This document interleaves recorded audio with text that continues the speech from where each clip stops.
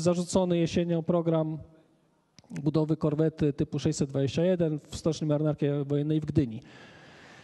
Ten program y, po wydaniu, i to jeszcze są, są wstępne szacunki, 400 milionów złotych po 10 latach budowy został zaniechany. I to był, była próba polskiego przemysłu stoczniowego, polskiego państwa, wejścia w obszar nowych technologii y, y, stealth, czyli okrętów o obniżonym odbiciu radarowym. Jeżeli byśmy wobec tego mieli spróbować wskazać kilka narzędzi, którymi powinno się posługiwać państwo e, polskie, promując nowoczesny przemysł i promując e, nowoczesną gospodarkę, to trzeba spróbować przeanalizować to, co się udało w innych krajach i brać pod uwagę nasze ograniczenia, nasze ograniczenia charakterologiczne, nasze ograniczenia administracji, zarówno administracji, jak i adresatów, jak i, jak i podmiotów, do których ona jest skierowana. Ja zdecydowanie opowiadam się za takimi narzędziami, które przyniosły pozytywne skutki w innych krajach. E, ja to proponowałem i, i, i, e, to było e, częścią, częścią chociażby programu wyborczego w, ostatnich, w ostatniej jesieni. Wprowadzenie do, do Polski, do polskiego systemu podatkowego możliwości podwójnego odpisu podwójnego odpisu podatkowego na, wydanie, na wydatki na badania e, i rozwój, tak zwanego double tax dip. Polega to na tym, że przedsiębiorca, który dokonuje na bieżąco wydatków w nowe technologie, buduje laboratoria, zatrudnia naukowców, w momencie osiągnięcia sukcesu mierzalnego obiektywnie, mierzalnego obiektywnym testem. W moim przekonaniu najlepszym testem jest uzyskanie patentu, jeszcze lepiej patentu w Europejskim Urzędzie Patentowym bądź w amerykańskim Urzędzie Patentowym. Do, uzyskuje od, od, od państwa premię, to znaczy może po raz drugi obniżyć podstawę opodatkowania, podstawę opodatkowania podatkiem dochodowym o te wszystkie wydatki. Wówczas tworzymy długotrwałą, rozłożoną na dekady kulturę innowacyjności w firmach. Bo ta firma, która uzyska ten e, odpis, to oczywiście on przychodzi za 3 lub 5 lat, tak długo jak trwa proces rejestracji, ale wówczas ona może te pieniądze niejako zaorać z powrotem w biznes, w nowe projekty, w e, bieżące, bieżące projekty. I, i y, łamiemy ten, ten jeden z problemów, y, który polega na, na takiej na krótkiej perspektywie E, decyzyjnej w, w, w, polskich firmach. One są zmuszone planować procesy w, w kategorii lat, nawet dekad. Takie narzędzie działa e, w wielu krajach, działa chociażby w, w mniejszym zakresie w Norwegii. I podam konkretny przykład. Norwegii, Norwegia, która E, która e, w, po odkryciu złóż e, węglowodorów była skazana na import technologii z, z Ameryki głównie, z, z, krajów, które posiadały już te możliwości wydobywania, wydobywania mm, ropy i gazu. No ale wprowadziła właśnie podobny, podobny mechanizm, który skutkował tym, że firmy norweskie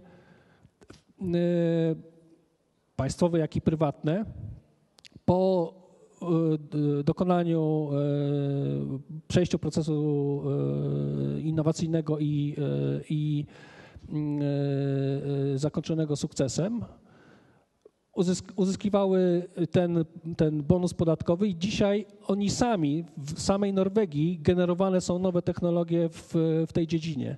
Oni zmusili czy zachęcili poniekąd te koncerny do tego, żeby w Norwegii tworzy, tworzyli laboratoria, w Norwegii e, lokowali, e, lokowali swoje zasoby.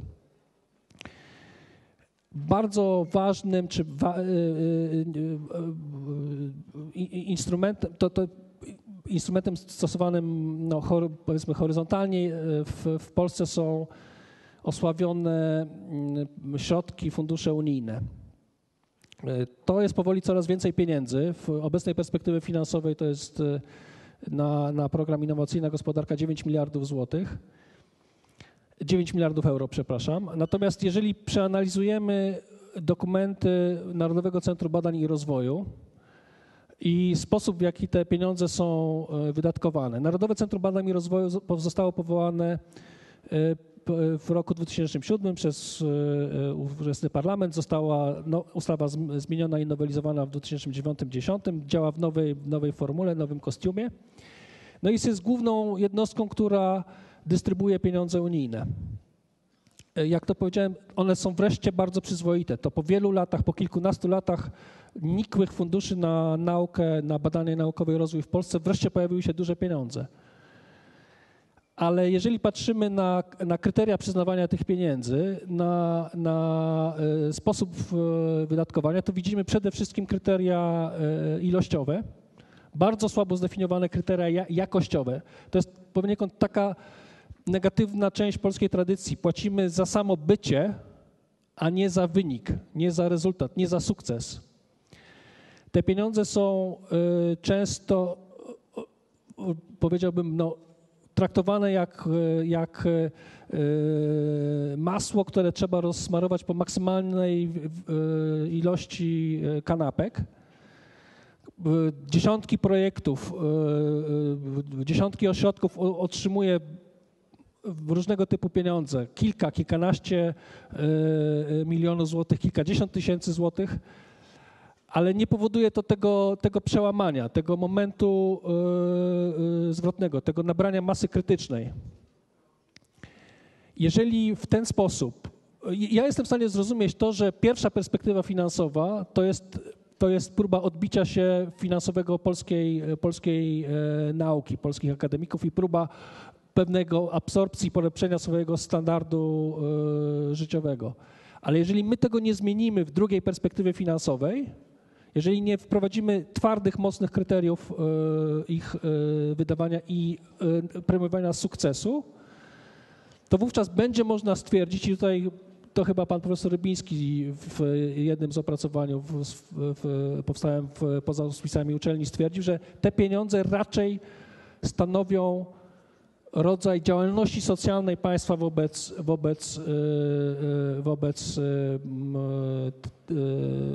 części ośrodków naukowych, akademickich, łatwego, miękkiego pieniądza niż bodźca, który stymuluje i innowacyjność i, i wymaga tej innowacyjności. Ta droga nie jest taka trudna, bo ta droga była już.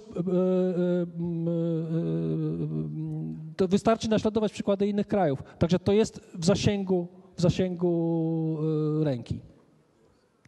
Dziękuję bardzo.